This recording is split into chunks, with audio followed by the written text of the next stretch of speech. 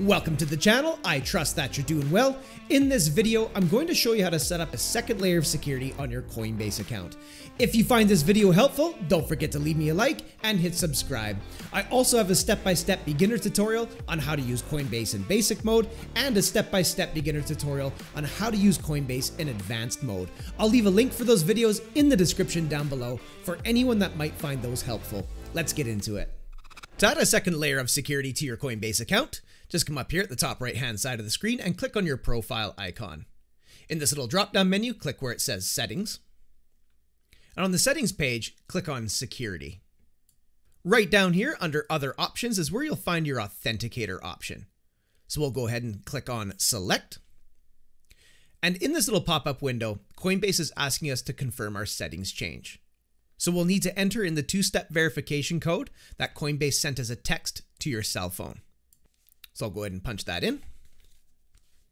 Then click on confirm. And in this little pop-up window is where we can enable Authenticator support. So if you haven't installed Google Authenticator just yet, you can get it on the Apple App Store as well as the Google Play Store.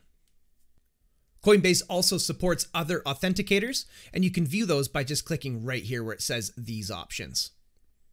From here, you'll need to open up the Google Authenticator app on your phone, and at the bottom right hand side, click on the little plus sign. From there, select the option that says Scan QR Code, then hold your phone up to your screen and scan your QR code.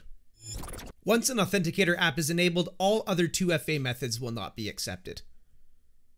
After scanning that QR code, enter in your Coinbase Authenticator code from your Authenticator app, right down below here, then click on Enable. As simple as that, now you've added a second layer of security to your Coinbase account. And there you have it. That's how you can add an extra layer of security to your Coinbase account. If you found that helpful, don't forget to leave me a like and hit subscribe. Also, feel free to check out my other Coinbase tutorials. Thanks so much for coming by and checking out this video. Looking forward to seeing you in the next one. And until I do, have yourself a powerful day.